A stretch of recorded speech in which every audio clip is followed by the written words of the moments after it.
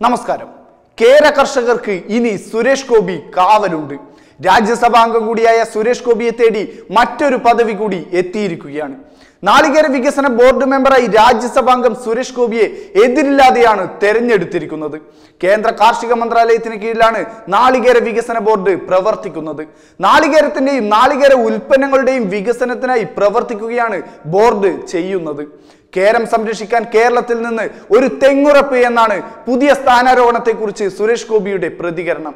ഇന്ത്യയുടെ നാളികേര വികസന ബോർഡിലേക്ക് ഐക്യകണ്ഠേന രാജ്യസഭയിൽ നിന്ന് തിരഞ്ഞെടുക്കപ്പെട്ട വിവരം സസന്തോഷം നിങ്ങളെ എല്ലാവരെയും അറിയിച്ചു കൊള്ളുന്നു എന്നെ വിശ്വസിച്ചേൽപ്പിച്ച ഈ പുതിയ കർത്തവ്യം ഏറ്റവും ഭംഗിയായി നിർവഹിക്കാൻ ഞാൻ യോഗ്യമായ പരിശ്രമം നടത്തുമെന്നാണ് സുരേഷ് ഗോപി ഫേസ്ബുക്കിൽ കുറിച്ചത്.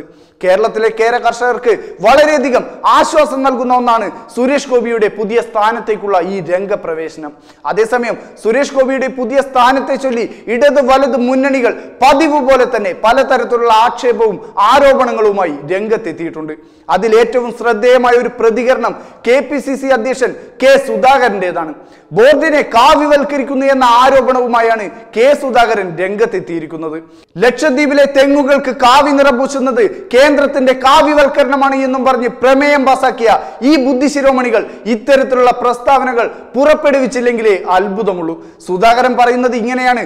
കഴിഞ്ഞ ദിവസം പെഗസസ് ഫോൺ ചോർത്തൽ വിഷയത്തിൽ സഭയിൽ പ്രതിപക്ഷ പ്രതിഷേധം കത്തുന്നതിനിടയിൽ നാളികേര വികസന ബോർഡ് ചെയർമാൻ സ്ഥാനത്തേക്ക് രാഷ്ട്രീയ നിയമനം നടത്താനുള്ള ബിൽ പാസാക്കി. ഇതാദ്യമായല്ല സംഘപരിവാർ രാജ്യത്ത് ഭീകരാന്തരീക്ഷം സൃഷ്ടിച്ച് അവർക്കിഷ്ടമുള്ള നിയമം പാസാക്കിയെടുക്കുന്നത്. എന്നാൽ നാളികേര വികസന ബോർഡിനെ കാവ്യവൽക്കരിക്കുന്നത് കേരളത്തിലെ കേര കർഷകരെ സംബന്ധിച്ച് വലിയ ആശങ്ക ഉയർത്തുന്നതാണ് എന്നൊക്കെയാണ്.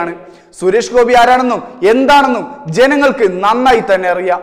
നിങ്ങളുടെ ഈ വിറളി കാണുമ്പോൾ ഒരു കാര്യം ഉറപ്പാണ് സുരേഷ് ഗോപിക്ക് കേര കർഷകർക്ക് വേണ്ടി ഇവിടെ പലതും ചെയ്യാനുണ്ട്. കർഷകരെ തന്നോടടുപ്പിച്ചാൽ കർഷകർക്ക് ഗുണം വന്നാൽ അത് സുരേഷ് ഗോപിക്കും ബി ജെ പിക്കും വലിയ നേട്ടമായി മാറുമെന്ന വാസ്തവമാണ് നിങ്ങളെ കൊണ്ട് ഇതൊക്കെ പറയിക്കുന്നതെന്ന് പൊതുജനങ്ങൾക്ക് നല്ല ബോധ്യമുണ്ട്. അത് സുരേഷ് ഗോപിയുടെ അടുത്ത് ചിലവാകില്ല എന്ന് സുധാകരനും ശിങ്കിടികളും പിന്നെ ഇതിനെതിരെ ഘോരഘോരം ആഞ്ഞടിക്കുന്ന കമ്മ്യൂണിസ്റ്റ് ബുദ്ധിജീവികളും മനസ്സിലാക്കിയാൽ നല്ലത്. Web desk Tatwamayi news.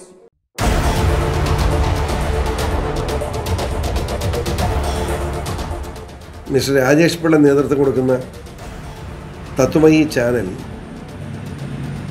Online പ്രക്ഷേപണം പുനരാരംഭിക്കുന്നു എന്നറിഞ്ഞ സന്തോഷം. ഇത് ആരംഭം കുറിച്ച സമയത്തും ഞാൻ തന്നെ അഭിപ്രായം രേഖപ്പെടുത്തിയിട്ടുള്ളതാണ്.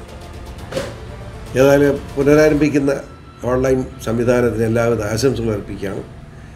രാജേഷ് പിള്ളയ്ക്കും അദ്ദേഹത്തോടൊപ്പമുള്ള അദ്ദേഹത്തിന്റെ സഹപ്രവർത്തകർക്കും എല്ലാവിധ നന്മകളും നേരുന്നു.